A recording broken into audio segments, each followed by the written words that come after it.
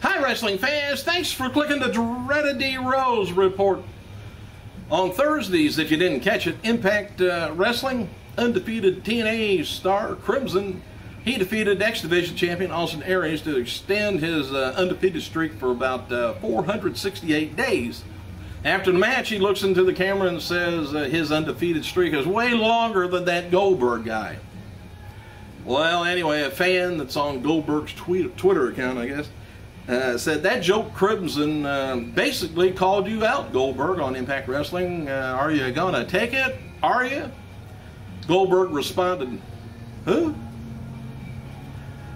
Goldberg later retweeted another message from a fan that says Crimson uh, doesn't phase Goldberg because Goldberg ate chumps like him during his streak every freaking night.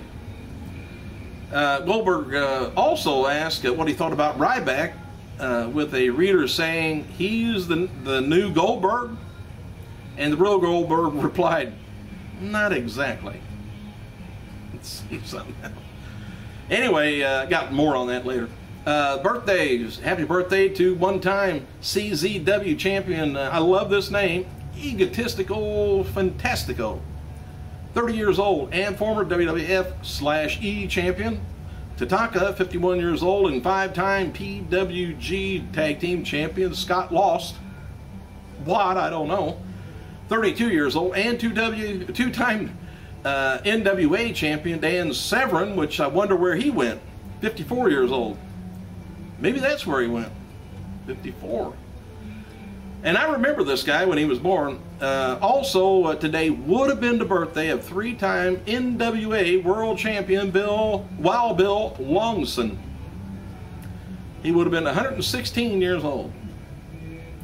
TNA President Dixie Carter, she announced on Twitter this morning that Intercontinental Champion, believe it or not, Christian is going to be appearing at TNA Slammiversary this weekend on a plane heading to Dallas uh, for a very big pay-per-view weekend. She says, uh, very excited. Uh, Christian for Peeps is joining us for uh, the night.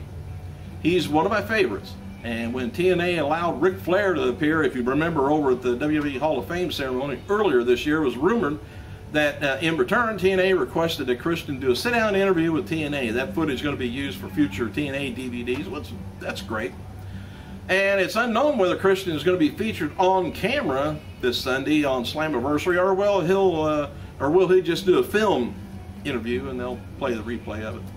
Uh, don't know whether he's got a show or not. Dixie, Dixie Carter's announcement could be a sign that uh, Christian will be the first one announced at WWE Hall of Fame, uh, rather uh, TNA's Hall of Fame at the pay-per-view. Ah, just a little thought. Uh, WWE World Heavyweight Champion Sheamus spoke to the Worcester uh, Times, uh, County Times this weekend to promote uh, Saturday night, uh, uh, Saturday's main event, SmackDown, in the Wicomico Youth and Civic Center, Salisbury, Maryland. amongst some of the topics, Sheamus talked about is training and he said, I don't train in the ring much anymore because uh, what we do so many events and things, it's just easy to stay in ring condition. Outside the ring, he says, I usually do some uh, cardio, extensive cardio, five or six days a week, and a lot of weightlifting and Olympic lifts, uh, also about five days a week. Says it's important to get rest uh, for your body as well, and I get a lot of rest for my body. So I'm way ahead of the game on that, I think. So uh, I get much rest as I can. If I feel tired, I allow myself uh, to take a day off because rest and recovery is important as training. I should be in hellacious shape right now. Former WWE executive, you do remember uh, Shane McMahon? He was in New York City this morning, Friday morning, and rang the opening bell for the NASDAQ Stock Exchange at Times Square. Wonder why. Well, Shane's wife and uh, as well as uh, his parents, Vince and Linda was there. Uh, oh, uh, hell, where's my, uh, I got the rest of it somewhere. Anyway, he's got a. have uh, lost my, my place on this. I'll come back to Vince, I mean, Shane McMahon's deal. anyway, Austin Aries, Kurt Angle, Velvet Sky is going to be appearing at Direct Auto Insurance, South Carolina, Charleston, South Carolina's July 6th. And a match pitting Angelina Love against ODB is featured match on this week's episode TNA Xplosion on Challenge. And with the arrival of Brooke Hogan into TNA, uh, Brooke Adams' ring name has been reverted back to Miss Tessmacher. She uh, can't have uh, two Brooks running around in there.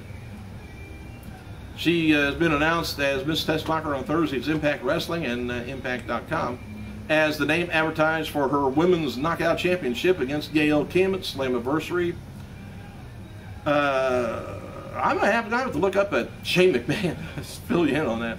Anyway, former WWE champion Chris Masters, believe it or not. Uh, remember the guy used to do this all the time? To, anyway, uh, he did a dark match prior to, to uh, live Impact taping down in Orlando. Official match listing uh, for upcoming WWE DVD Best of Falls Count Anywhere matches and Blu-ray has been released. Uh, you can view the complete listing on there. I, I don't really want to go through all of it.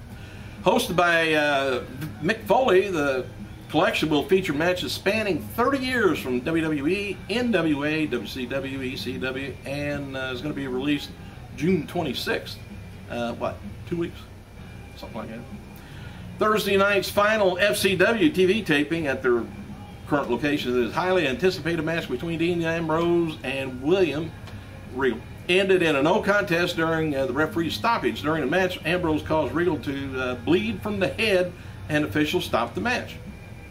I don't know how he did that, but Ambrose flipped out and attacked the referees, and the ref- wrestlers uh, had to come in and help Regal, and then he applied Regal's uh, Regal stretch uh, hold on him, and Regal finally got free. He applauded Ambrose, uh, who proceeded to knock him out with a knee trembler move.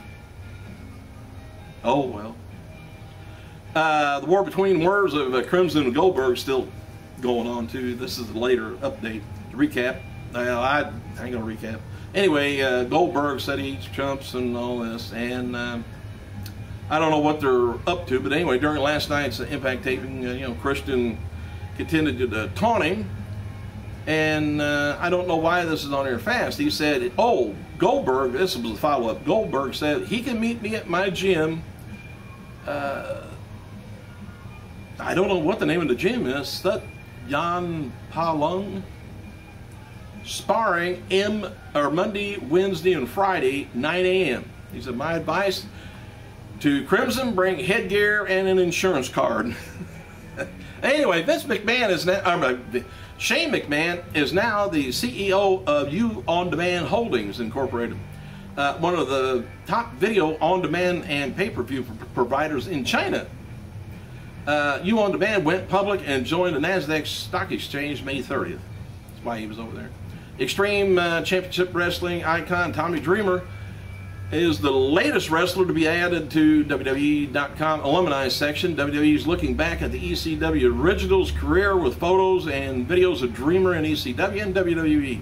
Dreamer previously uh, was featured in a section after competing in his final WWE match in December 09, but was removed on his arrival at TNA. Uh, that was called a uh, brain fart them doing that crap. Anyway, he has since been uh, departed from TNA and now competes for various independent leagues to let you know where he's at. And former uh, WWE star Lance Storm asked uh, via Twitter whether he would ever wrestle CM Punk. He responded, I doubt it will happen, but I'd be open for it. I liked uh, uh, Lance Storm, but he was true with no personality at all. Anyway, the official uh, website for Florida Championship Wrestling has removed Eli Cottonwood from their uh, roster, which would indicate he's probably been released from the developmental contract. Cottonwood appeared as a contestant on the second uh, season of NXT with John Morrison as, as his mentor.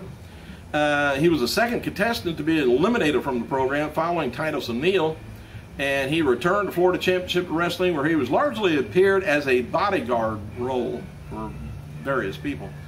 But uh, if you remember him, he was either seven foot or seven one, something like that, and was just odd looking. He was uh, worse than me, just odd. I don't know what it was. It just kind of took his head, did his head this, and kind of creepy, kind of like. Oh, anyway. Thanks for clicking, you guys. I gotta go.